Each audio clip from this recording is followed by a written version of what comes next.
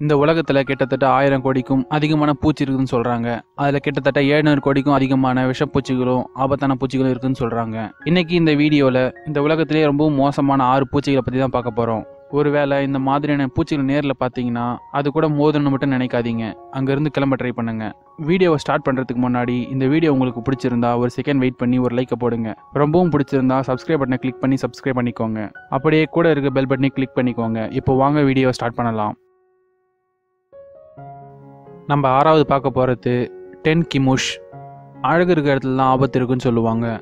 இந்த புழுவை பார்க்க அழகாக இருந்தாலும் அந்த அளவுக்கு ஆபத்து இருக்குன்னு சொல்கிறாங்க தெரியாமல் ஒரு வேளை இந்த புழுவை தொட்டுட்டிங்கன்னா ஷேக் அடித்த மாதிரி அதிர்ச்சி ஒன்று ஏற்படுமா?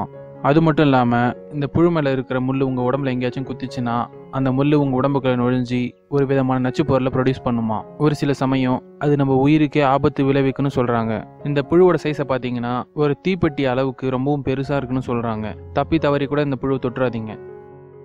நம்ம அஞ்சாவது பார்க்க போகிறது ஜாப்பனீஸ் மவுண்டன் லீச் பொதுவாக இந்த மாதிரி அட்டைங்கள்லாம் ஜப்பானில் ஒரு சில மலையில் இருக்கிற இலை கல்லுக்குள்ளே தான் இருக்குமா? இந்த அட்டையை பார்க்க ரொம்பவும் ஒல்லியாக நீளமாக இருக்குன்னு சொல்கிறாங்க இந்த அட்டை நம்மளோட பேக் ஷூ எங்கேயாச்சும் ஒட்டியிருந்தா அது ஒட்டியிருந்ததுக்கான அடையாளம் கூட தெரியாதுன்னு சொல்கிறாங்க ஒருவேளை இந்த அட்டை நம்மளோட உடம்புல எங்கேயாச்சும் ஒட்டியிருந்தா ரத்தத்தை உரியறது மட்டும் இல்லாமல் ஒரு விதமான நச்சுத்தன்மையை நம்ம உடம்புல செலுத்துன்னு சொல்கிறாங்க அந்த விஷம் அந்த பர்டிகுலர் இடத்தையே செயலிழக்க செஞ்சுடுன்னு சொல்கிறாங்க இந்த அட்டையை நம்ம உடம்புலேருந்து பிரித்து எடுக்க அது மேலே நெருப்பை காட்டினா அது ரொம்பவும் அதிகமான விஷத்தை கக்குமா?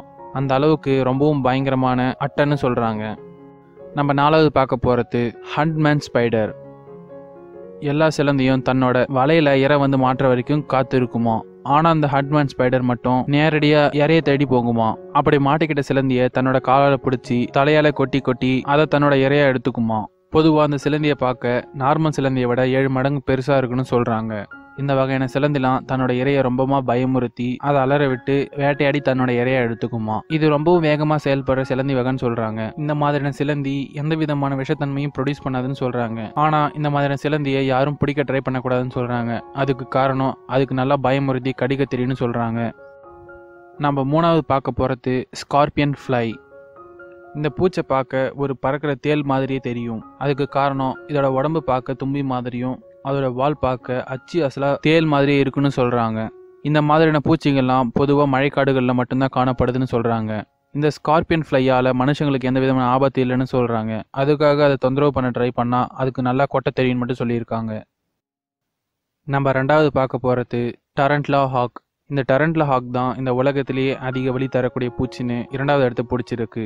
இந்த பூச்சால தன்னோட ஏழு மடங்கு எட்டு மடங்கு அதிகமாக இருக்கக்கூடிய பூச்சியவே ஈஸியாக வேட்டையாடி இழுத்துட்டு வர முடியும்னு சொல்கிறாங்க இந்த மாதிரியான பூச்சிலாம் பொதுவாக மழைக்காடுகள் வட ஆசியா தென் அமெரிக்கா ஆப்பிரிக்கா போன்ற இடத்துல தான் காணப்படுதுன்னு சொல்கிறாங்க நாம் இந்த பூச்சியை தொந்தரவுப்படுத்தாத வரைக்கும் நமக்கு எந்த விதமான பிரச்சனை இல்லைன்னு சொல்கிறாங்க ஒருவேளை அதை தொந்தரவுப்படுத்திட்டா நம்ம ஏன் அதை தொந்தரவு படுத்திட்டோம்னு நினைக்கிற அளவுக்கு நம்மள ஒரு வழி பண்ணிடுமா? ஒருவேளை இந்த பூச்சி நம்மளை கடிச்சிருச்சுன்னா இது கடிச்ச அஞ்சு நிமிஷத்துலேயே அதோட பவரை காட்ட ஆரம்பிச்சிடும் சொல்கிறாங்க நம்ம கடைசியாக பார்க்க போகிறது தி புல்லட் ஹேண்ட் இந்த புல்லட் ஹேண்ட் தான் இந்த உலகத்திலேயே அதிக வலி தரக்கூடிய பூச்சின்னு முதல் இடத்தை பிடிச்சிருக்கான். அதுக்கு காரணம் இது கடிச்ச வலி எந்த அளவுக்கு இருக்குன்னு பார்த்தீங்கன்னா இது கடிச்ச சில நிமிஷங்கள்லேயே ஒரு கன் நம்மளை சுட்டுதுன்னா எந்த அளவுக்கு இருக்குமோ அந்த வலி இது கடிச்ச வலியை தருமா. இதோட வலி அடுத்த ஒரு நாள் வரைக்கும் நம்மளை விட்டு போகாதான். அது வரைக்கும் நம்மளை ஒரு வழி பண்ணிடுமா. இந்த எறும்பு தான் இந்த உலகத்திலேயே அதிக நீளமாக வளரக்கூடிய எறும்புன்னு சொல்கிறாங்க கிட்டத்தட்ட ஒன் பாயிண்ட் டூ இன்ச்சஸ்ல இருந்து மூணு இன்ச்சு வரைக்கும் வளருமா. இந்த மாதிரியான எறும்புலாம் மத்திய அமெரிக்கா தென் அமெரிக்கா போன்ற இடத்துலலாம் அதிகமாக காணப்படுதுன்னு சொல்கிறாங்க பொதுவாக இந்த எறும்பு மரத்தில் கூடு கட்டி தான் வாழுமா ஓகே ஃப்ரெண்ட்ஸ் இந்த வீடியோ உங்களுக்கு பிடிச்சிருக்குன்னு நம்புகிறேன் இந்த வீடியோ உங்களுக்கு பிடிச்சிருந்தா ஒரு லைக் பண்ணி பக்கத்தில் இருக்க சப்ஸ்கிரைப் பண்ணி கிளிக் பண்ணிக்கோங்க. இந்த ஆறு பூச்சிங்களில் எது ரொம்ப மோசமான பூச்சா இருந்ததுன்னு கீழே கமெண்ட் பண்ணுங்கள் அடுத்து உங்களுக்கு எந்த மாதிரியான வீடியோ வேணும்னு கமெண்ட் பண்ணுங்கள் தேங்க்யூ ஃப்ரெண்ட்ஸ்